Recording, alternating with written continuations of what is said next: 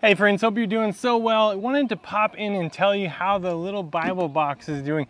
Now guys, we're so stoked about this little addition to the ministry and I wanna give you an update on how the Bibles have been doing. So we have two left, obviously. We started with 41, so 40 come in a box and we got one free at an event. It was a cowboy Bible. And so the first one went over in Huntsville State Park. Guys, we put this in front of our rig and so just sitting out in front, we have the Go On Overland banner and stuff like that. So the first one went overnight at the state park and that was just humbling and really confirming to what God was doing. And then we went to a show. Of course, if you don't know, we have a traveling business. So we went down to the Pasadena Strawberry Festival. And so here's how that went. So day one, we had, that was the 18th, we had six Bibles go out. On the 19th, we had eight Bibles go out. On the 20th, we had 15. And the 21st, we had nine. Now, how good is that, guys? I am just so humbled when I see the people grab a Bible and take it. It is just so awesome. You see the hope and the light in their eyes. I get thumbs up, I get thank yous. We get a lot of really neat stuff. Now, something we found was there's a few people that were actually asking for Spanish Bibles. So there's a big need to stuff some of those in here as well. Want to make sure and minister to that group. Uh, but guys, how good is that? That's 40 people, well 39 that now have the opportunity to read and develop their walk with the Lord and just study God's word. How good is that? Now on this, friends, I have a scripture and hang back for a little bit more, a little bit of a story uh, that I want to tell you guys about the Bibles and maybe a call to action. So Isaiah 55 verses 10, it says, As the rain and the snow come down from the heaven and do not return to it without watering the earth and making it bud and flourish, so that it yields seed for the sower and bread for the eater, so is my word that goes out from my mouth. It will not return to me empty, but it will accomplish what I desire and achieve the purpose for which I have sent it. Now, how good is that, friends?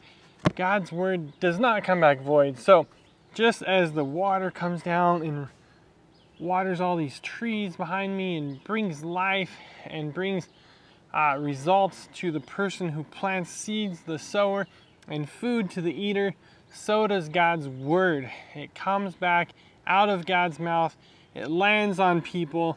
These Bibles here come out of this little box, land in people's hands, and we pray over each one of them, guys. We'd love to have you guys join us in this pursuit by praying over the Bibles. But more importantly, guys, we'd love to have some partners in this. We really are interested in that. So let me tell you a story. I called up my buddy, lifelong buddy, and I said, hey, these Bibles are popping. God's doing something here. Do you want to be a part of it? Guys, I'm not kidding. 10 minutes later, he said, bam, bam, done. And some Bibles were on the way to my house. So uh, just so encouraging. Guys, there's a huge need. Uh, this is going to be something that's going to be weekly. Uh, we can already see the results here. So again, 40 come in a box. I think it's like 70 bucks or something like that. Bibles in bulk, it's $2 a Bible. And so you just never know how that could change someone's life. Just imagine that people are thirsty and hungry for the Word of God and don't have it. How sad is that? That's just terrible. It breaks my heart. So honored to be able to do something about it. Uh, we had the opportunity to pray with some of the people. Depending on the situation, it's in front of our truck at a campsite. We're over here at Fort Parker State Park. It's going to be in front of our truck now.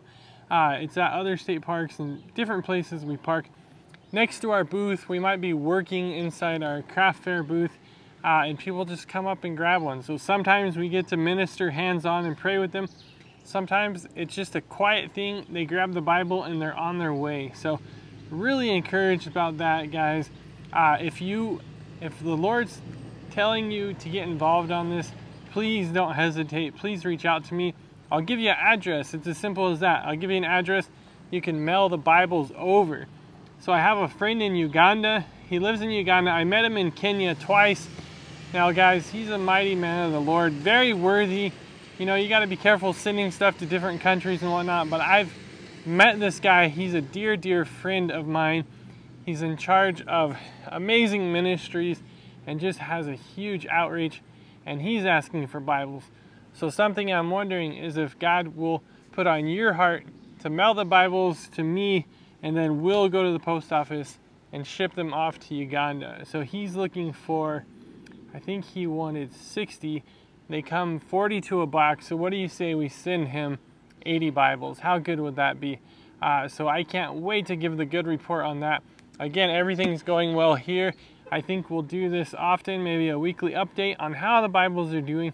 Maybe if there's any stories that I caught midweek, any neat stories of people getting them. But again, friends, let me just tell you the amount of people that looked back, grabbed a Bible. One guy looked at my wife and kissed the Bible, and he was just so thankful. And it just doesn't get much better than that, friends. It's such a neat ministry, and I'd love to partner with you guys on this and continue telling you the stories of how these Bibles are impacting people. They were very grateful, and it's a really worthy cause. So again, if you're one of those that you want to know that every dime that you spend goes directly towards the ministry, all you got to do is I'll give you an address and you can mail these Bibles directly over and we will just distribute them. So we'll be the hands and the feet. Would love to get some ministry partners on that.